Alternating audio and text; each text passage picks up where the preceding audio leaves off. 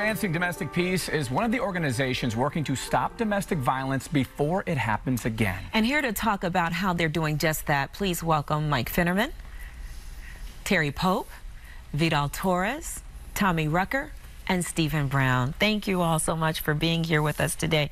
First of all, Mike, I want to start off with you. Tell us a little bit about advancing domestic peace. Explain what that means. Well, we started out as the West Side Domestic Abuse Project. That was a collaboration among uh, several organizations, the uh, University of Illinois through the Jane Addams College of Social Work and the Department of Psychiatry, uh, CAWC, who uh, you had on earlier, mm -hmm and uh, Haymarket Center. Uh, we came together to start providing some services on the west side of Chicago because there weren't many services in Chicago then. Right. After a few years doing this, we realized that some, first of all, our scope had expanded.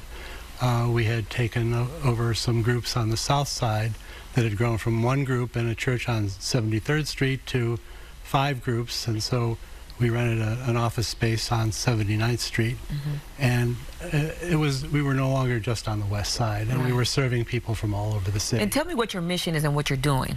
What we what we're doing is working with people who've been abusive to an intimate partner, to help them stop their abusive behavior, and to learn uh, new ways of dealing with conflict, and to start helping to build uh, safety and peace in their communities. Mm -hmm. And Terry, let's talk about you for a second and, and, what you're doing with your programs. What do you work on specifically for men and women in your groups? Uh, we work on accountability.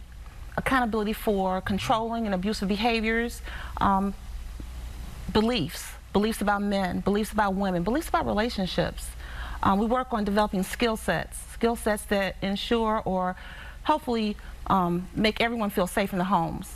We talk about the effects of uh, domestic violence on children, mm -hmm. on families, and communities at large. Right, and you accountability is so important to yes. me.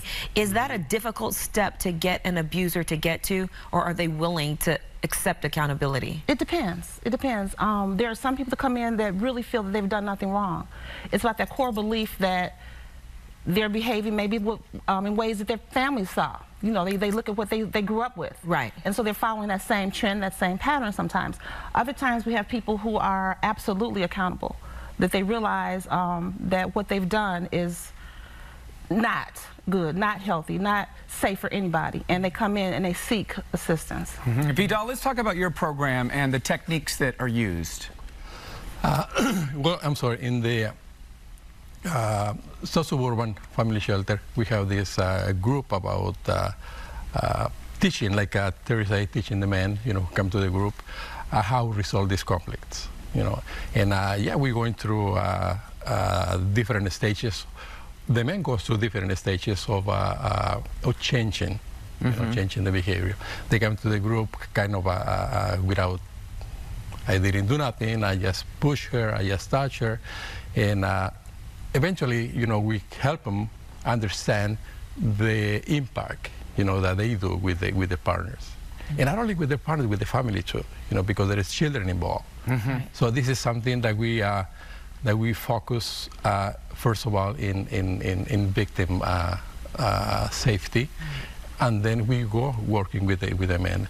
Beliefs are a huge portion of that we have to go go through it.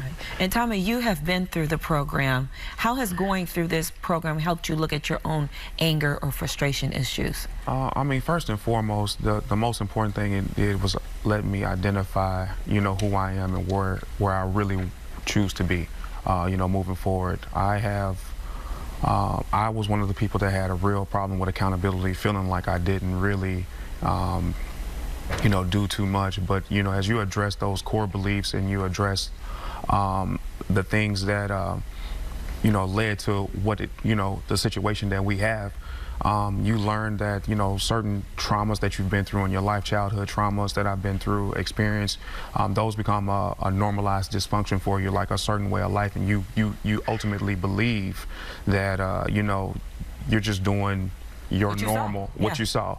And so now I'm able to clearly identify, you know, how those behaviors, you know, affect um, my children, affect my partner, affect um, all the relationships with the people that I have around me, and uh, it has been beneficial.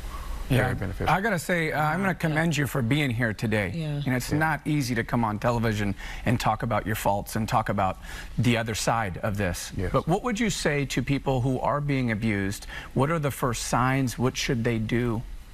Um, if you're in an abusive relationship, the first thing I think you should try to do is seek some type of professional help, some type of counseling, some type of uh, um, something to help yourself just like get over it. Um, I've witnessed people going through domestic violence that have ultimately committed suicide that I know personally, um, just from the depression, not knowing how to deal with it. So, uh, first and foremost, try to get some help. Try to get some help.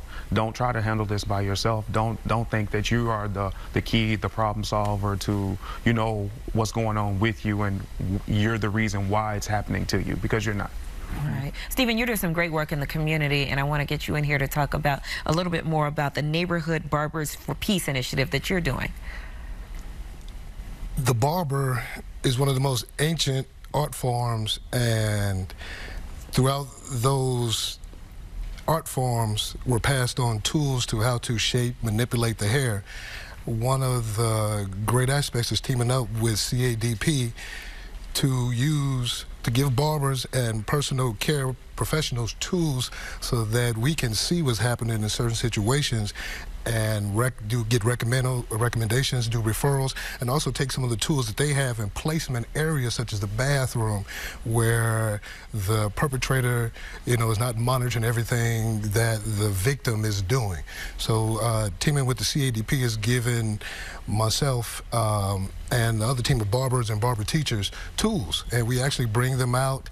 Uh, they do reenactments, uh, and you should see the responses. Right. It's it's kind of like a, an update to a computer. You've done certain things and it's normal, but you need an update because it's affected everything around you.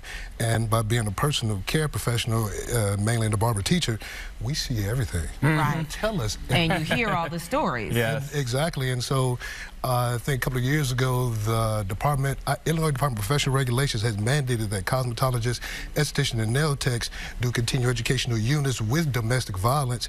But because barbers, we don't have to fulfill that requirement, we decided to do the initiative on our own. Right. And I want to thank you and salute you and all of you for being here. We appreciate it so much. Coming up next, why there's a need for more support for domestic violence survivors and their families, and then how you can help. Yep, and then coming up later, we are answering your questions about how to take action when it comes to domestic violence. We'll be right back.